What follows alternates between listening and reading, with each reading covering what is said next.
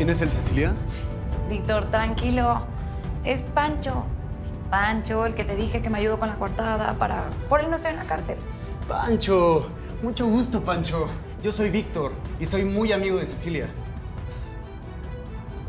Me vio la cara. Cecilia me vio la cara.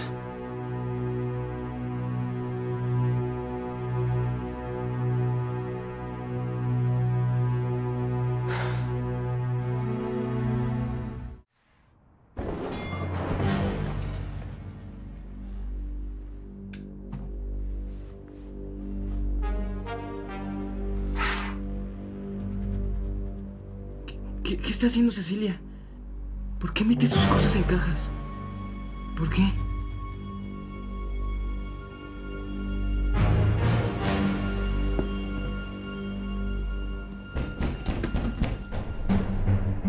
¿Quién será? A ver.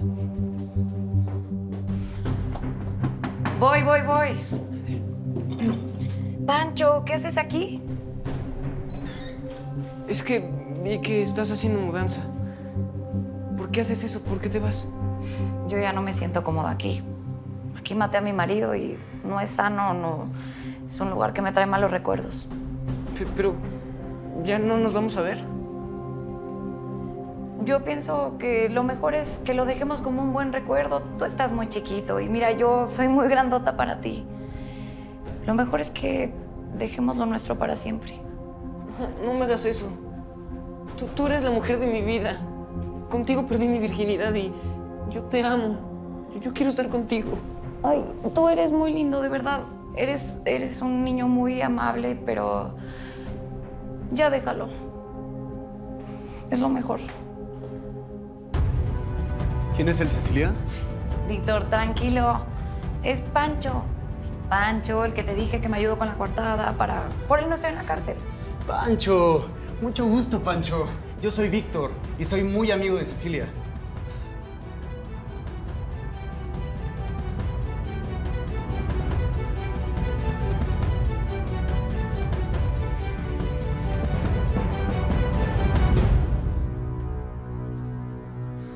Me vio la cara. Cecilia me vio la cara.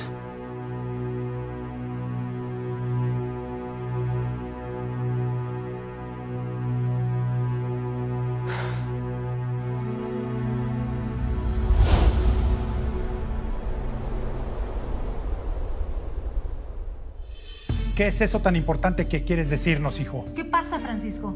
¿Es sobre la mujer que vive aquí enfrente? Sí. Ay, hermanito, ¿en qué problemón te fuiste a meter por tu calentura de chamaco Cusco? Ya, déjame en paz, Eugenia. Yo solamente quería platicar con mis papás. No sé ni qué haces aquí de chismosa. Pues ver que yo tenía razón y que tu calentura no te iba a traer nada bueno. Ya, Eugenia. Deja en paz a tu hermano, si no te voy a pedir que vayas a tu recámara. Ah, ya, está bien, ya me callo. A ver, hijo, ¿qué es lo que te preocupa? Cecilia y yo, nosotros hemos tenido relaciones sexuales. Muchas veces. Lo sabía. Sabía que esa mujer te había enredado, lo sabía. Ay, pero ahorita mismo me va a escuchar y la voy a mandar a la cárcel porque se metió con un menor de edad. Por pederasta. No, no, mamá, mamá. No es todo. ¿Qué más? Dinos. ¿Qué más pasó entre tú y ella? ¿Qué? Yo, yo mentí. El día que nos encontraste en la recámara, ella me pidió ayuda y como no había nadie la dejé pasar.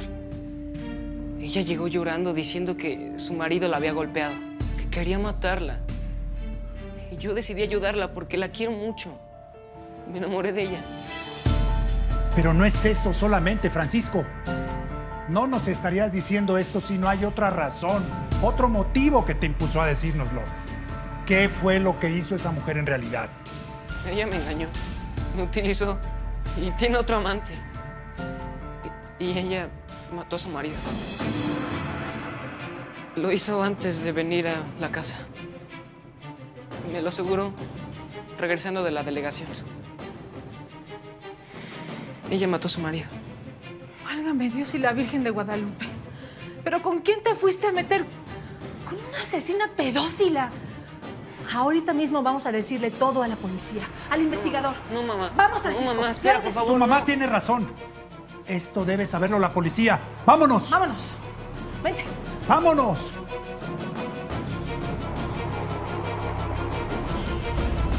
Dale, que no tenemos todo el día, apúrate. A ver, fíjate en esa caja, es la última que quiero. No, no hay ninguna caja más, nos vamos. Cierra tu camión. Lo sigues, órale. ¡Deténganse!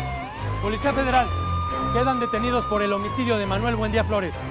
Su marido, señora. A ver, nosotros no hicimos Agárrenlo. nada, no nos pueden agarrar. ¡Suéltame! El joven Francisco cambió su declaración.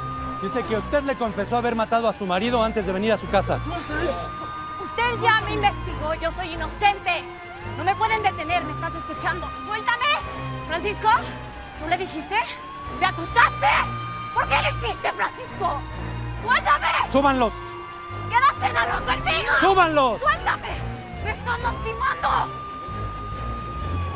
Agáchate, agáchate.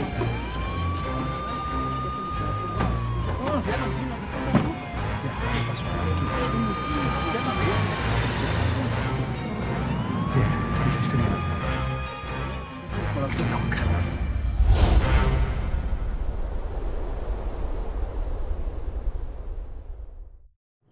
mamá, ahora sí que te luciste con la comida. ¿Y eso porque estamos festejando algo? Sí, estamos festejando que los quiero mucho y que somos una familia, porque debemos mantenernos unidos para cuidarnos los unos a los otros, porque no hay mayor protección que el que se tiene con la familia. Su madre tiene razón. Sí, Bernardo. Pero espero que ahora sí me hagas caso cuando te digo las cosas, porque si hubieras hablado con tu hijo antes, probablemente no hubiera sucedido todo lo que pasó. Tienes razón, mujer. Perdóname. ¿Y tu hijo? Tienes que darte cuenta de que eres muy chico para tener una vida sexual, porque esa mujer se aprovechó de ti. Tienes muchas cosas por las cuales estar contento, sonreír y vivir. Sí, ma. La verdad es que las terapias a las que estoy yendo me han enseñado muchas cosas. He comprendido que en realidad ella abusó de mí. Y ahora lo único que quiero es reconstruir mi vida. Muy bien.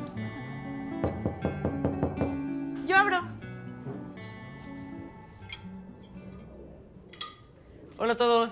Hola. Em, ya venimos por Pancho para irnos a la fiesta del Muelas. Grisela, ¿eres tú? Sí, sí, soy yo. ¿Por qué? Es que te ves muy cambiada y muy bien arreglada. La verdad, te ves muy bonita. Claro, así soy cuando no estoy en la escuela. Esa niña me gusta para que sea novia de mi hijo. Ojalá que se hagan novios, ¿verdad? Bueno, pero todo a su tiempo. Pobre de nuestro hijo que sufrió un inocente engaño.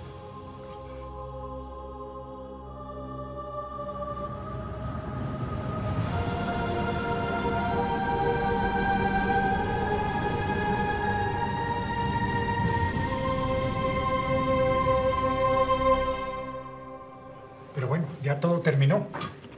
Y a mí también me gusta esa niña para que sea novia de mi hijo. Bueno, mamá, ya nos vamos. Se nos hace tarde. Adiós, señora.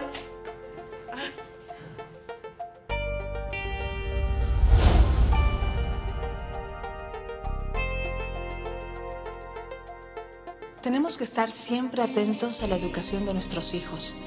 Siempre atentos para ver con quién se llevan, quiénes son sus amistades. Porque las malas compañías pueden ser tremendas y obligan a nuestros hijos a mentir. Y los pueden involucrar en cosas muy fuertes, como un asesinato. Cuidemos a nuestros hijos para que ninguno sufra un inocente engaño.